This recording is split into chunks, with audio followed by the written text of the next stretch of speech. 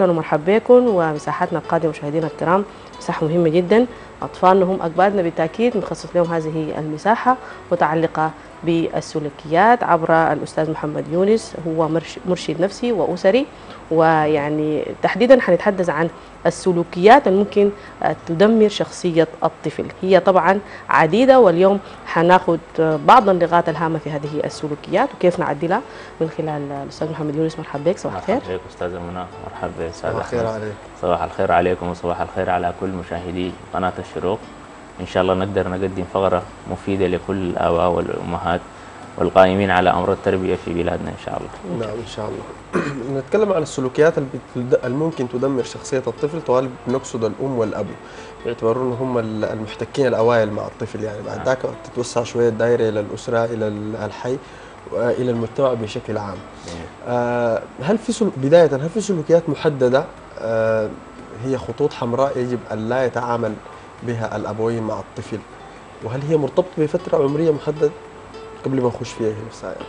بالتأكيد نحن لو رجعنا لتربيه الأطفال السنين الأولى من عمر الطفل هي بتمثل اللبنة الأساسية لتكوين الشخصية مستقبلا إذا كان التعامل مع الطفل في السنين الأولى من عمره وبعض العلماء بيقولوا من سنة إلى سبع سنوات أو خمس سنوات فاذا كان التعامل في الفترة دي بوعي وإدراك وتعامل إيجابي إذا معناه نحن نضمن قوام شخصية إيجابية إن شاء الله مستقبلا. فإذا كان التعامل بشكل سلبي مع مع الطفل وفي سلوكيات يعني غير منطقية مع الأطفال فبالتأكيد بتطلع شخصية مهزوزة وغير قادرة على أنها تكون بناءة في المجتمع. نعم ممكن عندها عطاء طيب إحنا إذا اتكلمنا في في في مرحلة التكوين اللي هي اتكلمت عنها دي المرحلة المهمة والفعلا فيها بيكون تكوين شخصية الطفل من خلال السلوك تحديدا اليوم. آه القسوة هي سلوك طبعا إذا مورس من قبل الأبوين. فكيف بيكون التأثير على الأطفال؟ آه لأنه في بعض الآباء والأمهات عندهم فكرة إنه الطفل ده إذا أنت عاملته بقسوة وكده هيطلع لك زول قوي وهيطلع لك زول عنده مسؤولية. آه متناسين تماما الجانب النفسي ممكن يتأثر به الطفل في الفترة دي. جميل. نحن قبل نتكلم عن أثر القسوة على الطفل آه ليه الأم ولا الأب بيمارسوا القسوة على أطفالهم؟ عشان يسمعوا الكلام. أيوه في في معتقدات خاطئة نحن خاتينا في بالنا زي ما ذكرت منها أنه أنا بخسو عليه على أساس أنه يكون قادر على مواجهة الصعاب مستقبلا وأطلع منه شخصية قوية. آه قلت لك عشان يسمع الكلام. أيوه. يعني عشان يسمع الكلام نقصه عليه. ذات حاجة غريبة خلاص. ده يدل بدل على منك ربنا يعينك أيوه صح. يدل بدل على ضعف شخصية المربي نفسه.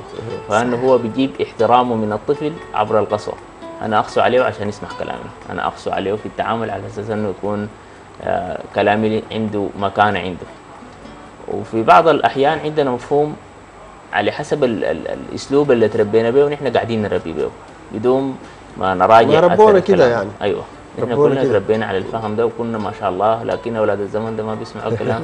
فده بينعكس لما الجيل السابق عمره 10 سنة. أيوة. تفكيره مختلف يعني ما زي الأجيال الفائده أكيد. فالقسوة على على الطفل اثرها قوي جدا واشكالها كثيرة. القسوة ما شرط تصل حد الضرب لكن حتى في التعامل ما بين الأطفال. التعنيف اللفظي برضه مشكلة. أيوه في اللفظ مشكلة.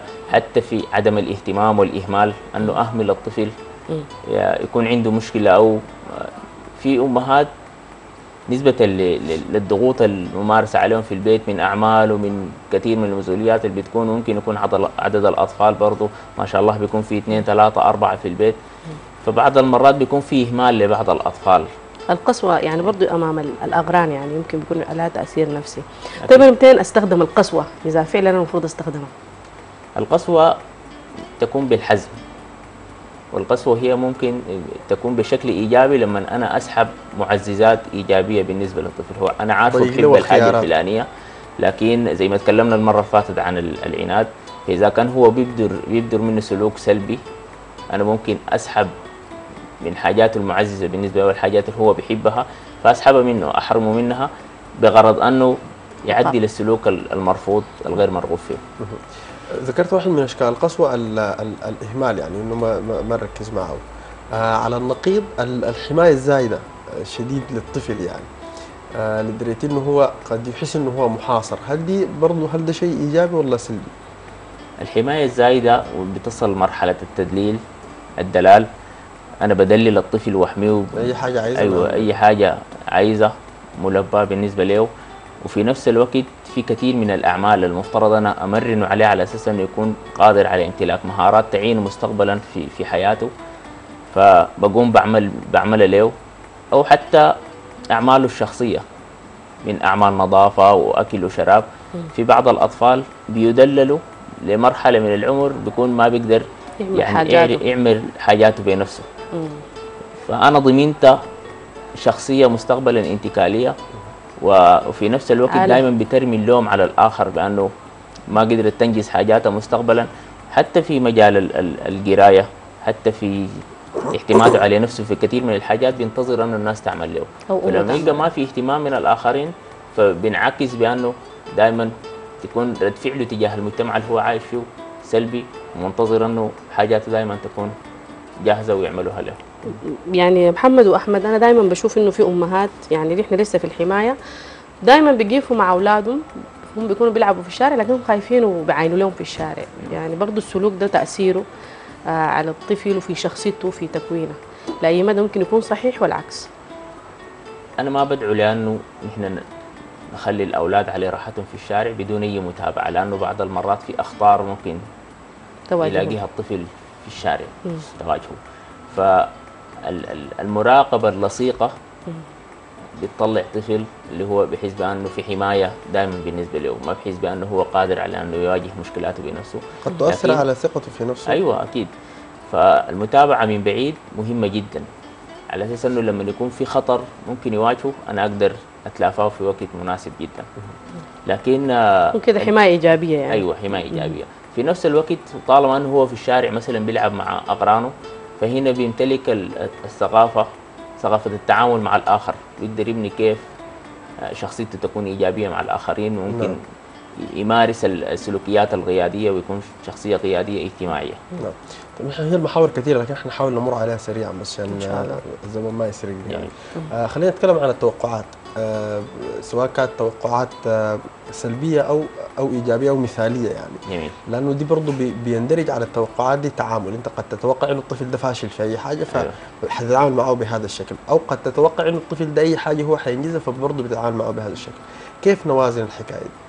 التوقعات إذا كان سلبية أو مثالية أكثر من اللازم من قبل الأم والأب فبتعمل مشكلة. ليه؟ لأنه الأم والأب هم مصدر الثقة بالنسبة للطفل.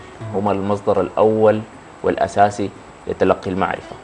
فالطفل لما يحس من أنه أمه وأبوه بيتوقعوا منه توقعات سلبية دائما أنك أنت فاشل وأنك أنت أصلك ما حتعمل حاجة وأنك أنت ما حتنجح. ده مثلا في في جانب أو أنت بليد. يعني أيوة، تنعتوا بليد. بانك أنت بليد. فدي دائما بتخلي أنه مفهومه لذاته يكون متدني وأكثر شخص ممكن يصدقه الطفل أمه وأبوه.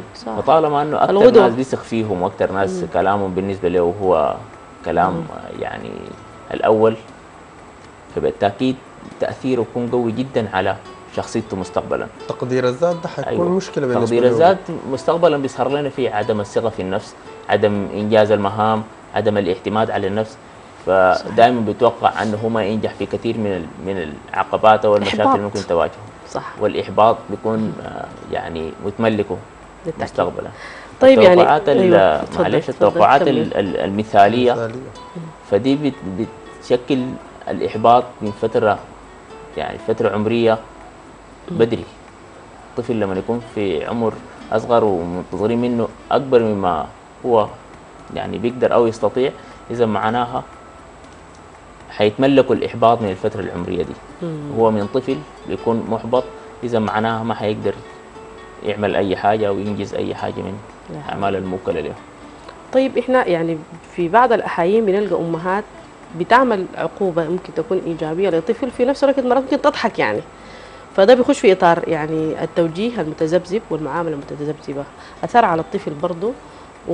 وأنا كده زي اللي بعمل له يعني حاجة كده تشويش. أيوه تشويش بالنسبة له عشان ما يعرف الصح والغلط. نعم التذبذب في المعاملة أشكاله كثيرة جدا. ممكن يكون آه، واضح في عدم اتفاق الأم والأب على نهج معين في التربية. فالأب يقول كلام والأم تقول كلام آخر.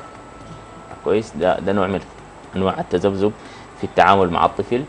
آه حتى ممكن ال- الأب نفسه أو الأم نفسها تتذبذب في تعاملها مع مع الطفل بأنه في بعض المرات تمنع عن سلوك بشكل صارم جدا.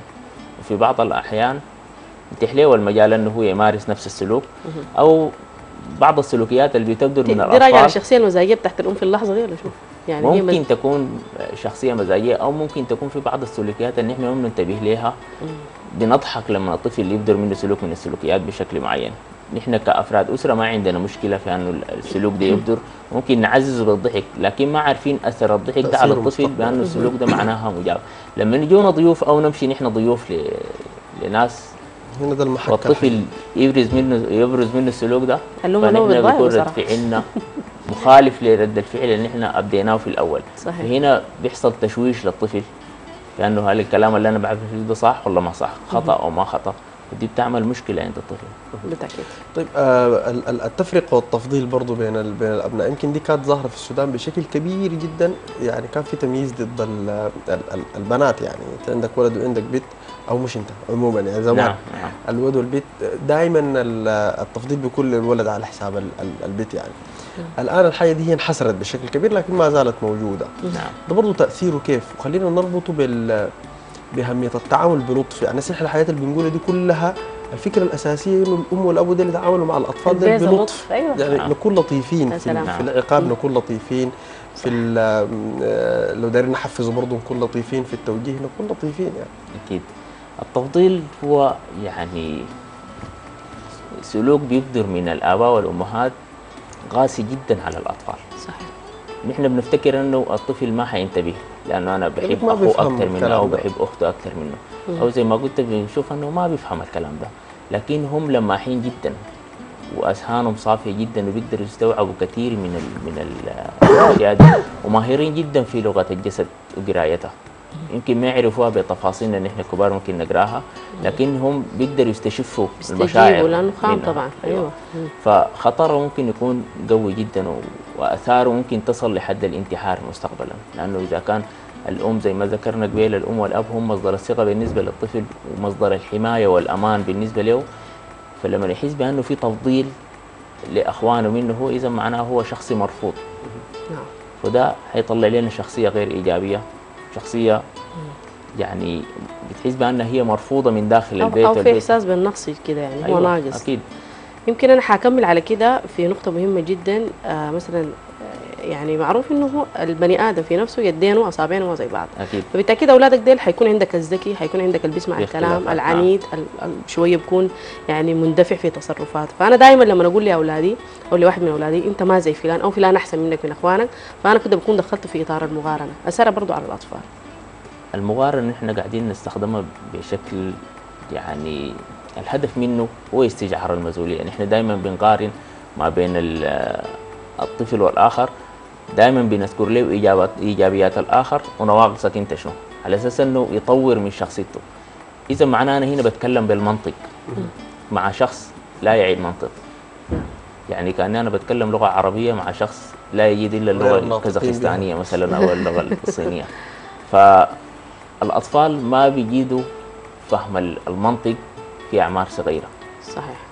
فتعاملهم دائما بالعواطف فلما أنا أقارن إذا معناه أنا بتكلم بمنطق أن أخوك أفضل منك عمل وسوى وفعل وترك ونحن الكبار إن- المرات ما بنتعامل بمنطق في المقارنة يعني أيوة. الأطفال الصغار خصوصا الرجل بيقول لك عقله طفل يعني مهما يكبر يعني داير ده, معاملة ده كده. موضوع الجندر آخر أصلا شفت منى دي أيوة. بتصلح شلون بتشيل الجندر في الحياة العفو يا إحنا أحمد قاعد يعني. نتجاوز ما إحنا في إحنا في مرحلة مهمة جدا ومحتاجين انه كل الناس تتكاتف سواء كان أنثى أو ذكر المقارنة هي طبعا آه، هي بذور لل, لل يعني المشاكل ما بين الأخوان للأسف. فأنا لما أقارن طفل مع طفل أقارن طبعا ممكن المقارنة تكون داخل البيت. أقارن البيت بالولد أو الولد بالبيت. أو أقارن ولدي بولد خالته أو ولد عمته بأنه هو أفضل منك أو أحسن منك. حيمتد معناه ببني مستقبل اللي علاقاتهم هم الاثنين مع أيوه بعض. فأنا بزرع بذور بتاعت عداء بيناتهم. الشخص نعم. اللي أنا بقارنه بيه ده معناه حيكرهه حيكون توجهاته نحوه سلبية جدا. نعم. فأسي للأسف قاعدين نشوف في مجتمعنا العربي بشكل عام ومجتمعنا السوداني على الخصوص بعض المرات بيكون في عداء ما بين الأخوان يصل لحد المشاكل. جزء كبير منا فعلا نستوي فيه هذه المقارنة. إحنا يعني وصلنا لنهاية هذه الفقرة. شاكرين جدا لك آه، محمد يونس. المرشد النفسي والأسري. شكرا لك الله يبارك فيك. تسلم يديك العافية. إن شاء الله. شكرا جزيلا. ويمكن هي كبسولة مهمة جدا لكل الآباء وكل الأمهات في سلوكيات. قد تدمر طفلك إذا أنت ما انتبهت لهذه آه، السلوكيات.